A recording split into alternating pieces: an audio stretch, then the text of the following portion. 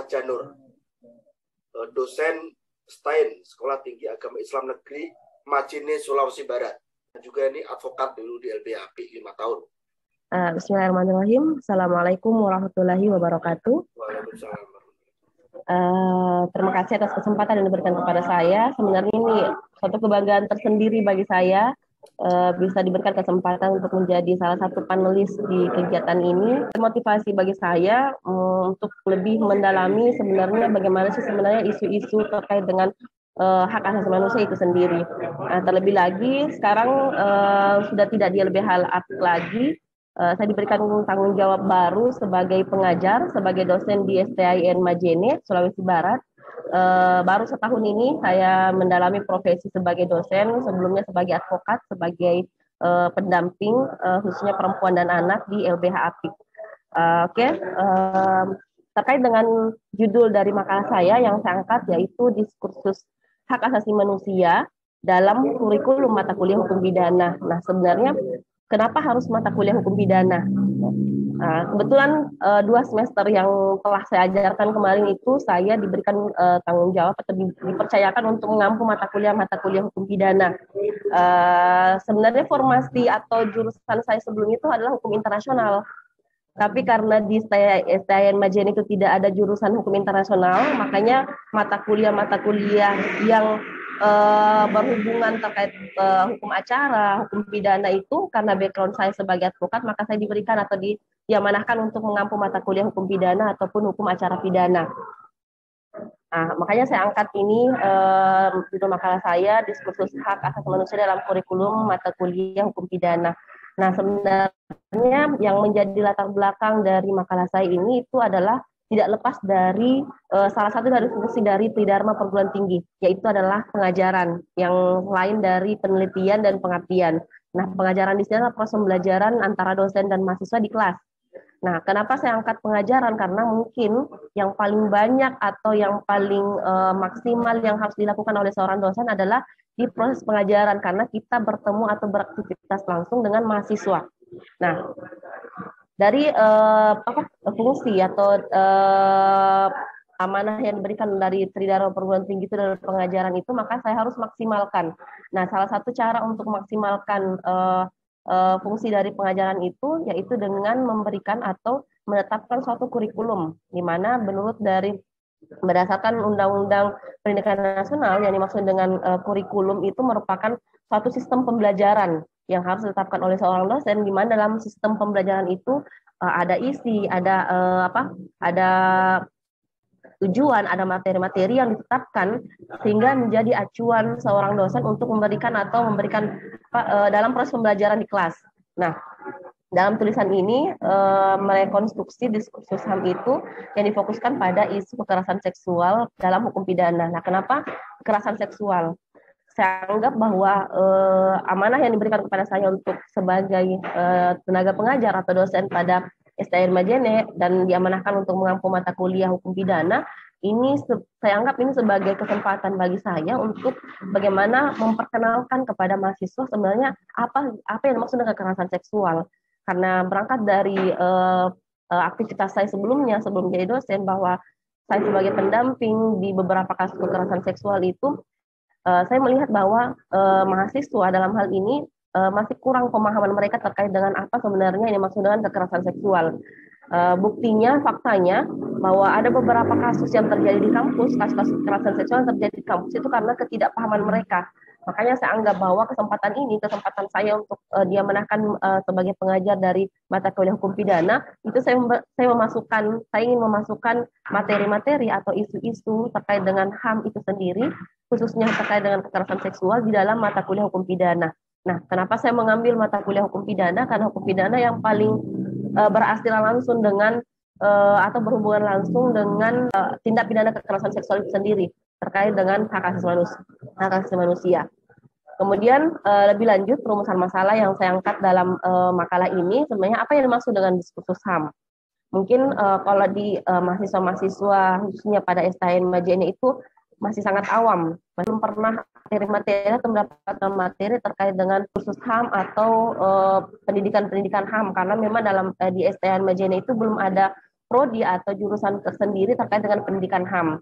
Di STN Majene itu kan masih sekolah tinggi, jadi uh, jurus jadi dia masih terbagi jurusan, jurusan syariah dan ekonomi bisnis Islam. Jadi masih satu jurusan. Jadi di sana belum ada khusus pendidikan atau jurusan atau uh, prodi yang mengkhususkan terkait dengan pendidikan hak asasi manusia. Makanya saya memasukkan diskursus HAM ini dalam mata kuliah hukum pidana sebagai kesempatan bagi saya untuk memperkenalkan kepada mahasiswa eh, apa sebenarnya dimaksud dengan hak asasi manusia, apa ya apa yang dimaksud dengan kekerasan seksual. Kemudian yang kedua itu bagaimana urgensi, bagaimana apa sebenarnya pentingnya eh, diskursus HAM itu dimasukkan dalam mata kuliah hukum pidana. Dalam hal ini dimasukkan sebagai kurikulum mata kuliah hukum pidana. Diskursus, diskursus HAM tindak pidana kekerasan seksual Nah, uh, pada mata kuliah hukum pidana itu yang berpusat pada pembahasan isu kekerasan seksual, di mana uh, kita ketahui bersama bahwa dalam KUHP, dalam kita undang-undang pidana, itu tidak secara khusus memberikan perlindungan terhadap perempuan yang menjadi korban kekerasan seksual. Jadi uh, maka menurut saya penting saya anggap uh, saya angkat isu uh, kekerasan seksual ini sebagai diskursus HAM dalam tindak dalam hukum pidana itu karena uh, uh, sangat penting dibahas, sangat penting mahasiswa paham bahwa sebenarnya kekerasan seksual dalam KUH pidana itu tidak tidak mencakup keseluruhan dari bentuk-bentuk kekerasan seksual. Di sini dalam kitab undang-undang hukum pidana yang pada saat ini sebagian kasus kekerasan seksual masuk pada pasal-pasal kejahatan, namun terbatas pada tindak pidana umum. Tindak pidana umum maksudnya di sini adalah korbannya baik itu laki-laki maupun perempuan seperti kesusilaan, penganiayaan, pembunuhan dan lain-lain. Nah, kemudian dalam KUHP ini hanya dua uh, dua jenis kekerasan seksual yang diatur, yaitu hanya pemerkosaan dan pencabulan. Dalam hal ini adalah pelecehan seksual. Namun tidak terperinci atau tidak lebih khusus lagi mengatur atau menyebutkan bentuk-bentuk kekerasan seksual, misalnya yang ada dalam rancangan undang-undang uh, penghapusan kekerasan seksual. Kekerasan seksual ini tidak dapat dilihat sebagai kejahatan yang hanya menjadi urusan privat, namun hanya namun harus dilihat bahwa kekerasan seksual ini merupakan masalah publik karena kejahatan ini merupakan bentuk perilaku yang primitif yang menunjukkan nafsu, dendam dan superioritas. Superioritas maksudnya dia karena ada relasi kuasa yang tidak seimbang, ada ada ada kekuasaan, ada apa? Uh, ada penguasaan yang tidak merata antara laki-laki dan perempuan sehingga menyebabkan adanya kekerasan seksual. Nah juga kekerasan seksual merupakan bentuk kekerasan terhadap perempuan yang telah diatur dalam Konvensi PBB tentang penghapusan kekerasan terhadap perempuan, yaitu CEDAW. Nah dalam CEDAW ini Kekerasan terhadap perempuan adalah setiap tindakan berdasarkan perbedaan jenis kelamin yang berakibat atau mungkin berakibat kesengsaraan atau penderitaan perempuan secara fisik, seksual, psikologis, termasuk paksaan atau perampasan kemerdekaan secara sewenang-wenang, baik yang terjadi di depan umum atau dalam kehidupan pribadi. Nah, kekerasan seksual, kekerasan terhadap perempuan yang diatur dalam CEDAW ini itu tidak terangkum atau tidak tercover dalam KUH pidana. Maka dari itu penting bagi saya untuk menjelaskan atau untuk memperkenalkan kepada mahasiswa sebenarnya apa yang dimaksud dengan kekerasan seksual. Karena bahwa jenis-jenis atau bentuk-bentuk dari kekerasan seksual itu akan seperti apa. Dia hanya memacu pada dua jenis yang saya sebutkan tadi yang terdapat dalam KUH pidana. Maka dari itu uh, saya uh, itu yang melatar belakangnya atau itu yang menjadi alasan uh, kenapa kenapa uh, isu kekerasan seksual yang saya angkat sebagai diskursus HAM dalam hukum dalam mata kuliah hukum pidana. Kemudian uh, masuk kepada urgensi diskursus HAM dalam kurikulum mata kuliah hukum pidana. Baru dulu mengatakan bahwa hak asasi manusia adalah hak-hak yang melekat pada setiap manusia yang tanpanya manusia mustahil dapat hidup sebagai manusia. Kemudian John Locke juga mengatakan bahwa HAM adalah hak yang diberikan langsung oleh Tuhan yang maha pencipta sebagai hak yang kodrati.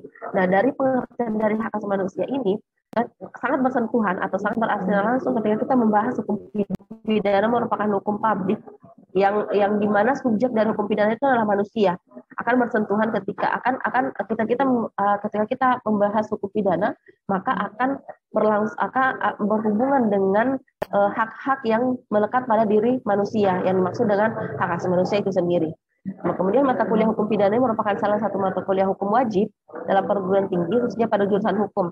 Kalau dalam di STN Majene itu belum uh, bukan jurusan hukum tapi dikenal dengan jurusan syariah. Jadi di sana hanya karena hukum Islam, tapi tetap uh, tetap uh, apa uh, mata kuliah yang diajarkan itu uh, mata kuliah mata kuliah umum. Salah satunya adalah mata kuliah hukum pidana. Nah, kurikulum mata kuliah hukum pidana, hukum pidana ini yang berdasarkan sejumlah pembahasan materi yang terkait dengan sistem pemidanaan, jenis pemidanaan, tertib hukum, dan akses keadilan sosial setidaknya mencakup tiga komponen dasar, yakni sistem pemerintahan dan penegakan hukum, yang yang yang pada dasarnya ketika kita membahas terkait dengan komponen dasar ini itu tidak terlepas dari pembahasan hak asasi manusia.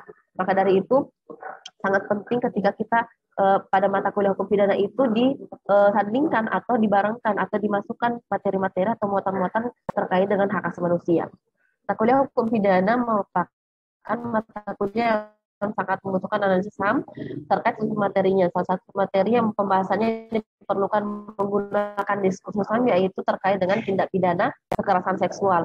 Karena yang saya katakan tadi bahwa dalam KUHP pidana itu tidak secara jelas atau tidak secara terperinci memberikan bentuk-bentuk atau uh, apa lebih spesifik mengatur terkait dengan kekerasan seksual. Dia tidak uh, tidak menyentuh secara mendalam terkait dengan apa yang dimaksud dengan hak manusia, apakah kekerasan seksual itu termasuk sebagai pelanggaran HAM atau tidak? Itu tidak tidak tercantumkan atau tidak diatur atau tidak tercover dalam KUH pidana maka perlu uh, saya masukkan dalam kurikulum terkait dengan diskursus HAM terkait dengan kekerasan seksual dalam mata kuliah hukum pidana. Dalam diskursus HAM ini uh, uh, terkait dengan kurikulum mata kuliah hukum pidana itu ada beberapa hal yang harus diperhatikan. Yang pertama itu mementingkan cara pendidikan yang dapat meningkatkan kesadaran dan mempromosikan pemahaman bahwa setiap manusia mempunyai kemampuan dan mengembangkan norma yang menghargai martabat manusia. Intinya dalam uh, mata kuliah hukum pidana itu karena subjeknya adalah manusia, maka uh, perlu dimasukkan diskursus HAM sebagai bentuk penghormatan terhadap uh, kehormatan atau martabat manusia itu sendiri. Dalam implementasi uh, diskursus HAM dalam kurikulum mata kuliah hukum pidana itu juga penting memperhatikan pendidikan HAM itu sendiri dalam pendekatan diskursus HAM untuk membuka kesempatan bagi mahasiswa membahas bersama isu terkait. Jadi dalam sistem perkuliahan itu, sebagaimana tadi uh, beberapa panelis telah menjelaskan bahwa ada beberapa metode atau sistematika pembelajaran yang bisa diterapkan dalam kelas, uh, misalnya berdiskusi atau dijadikan mahasiswa dijadikan sebagai subjek bukan objek.